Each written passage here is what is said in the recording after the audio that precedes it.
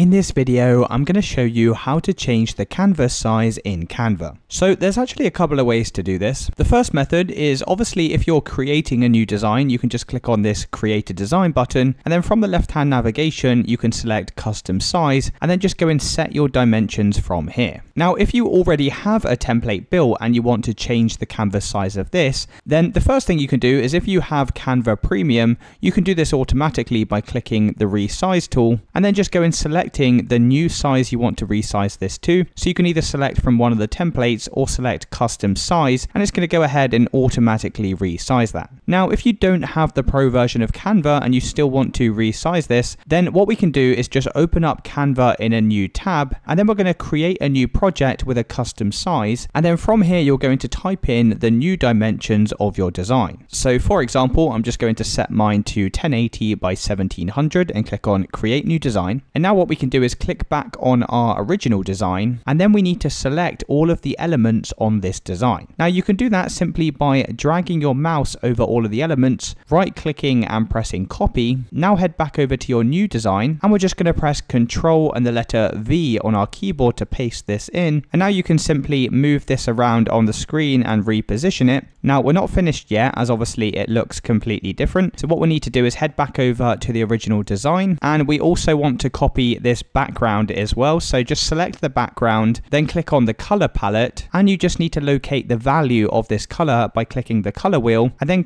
copying this set of numbers. Head back over to the new design and click somewhere on the background, click on the color palette and select add new color. And then we're just going to paste these set of numbers here. And now as you can see, it's looking a lot better. We're just going to need to resize some of these elements. So you might want to do that individually, resize each of these. So you might just have to play around with this until you get the perfect design. And it's really as simple as that, guys. If you did find this video helpful, then let me know in the comments and I'll see you in the next one.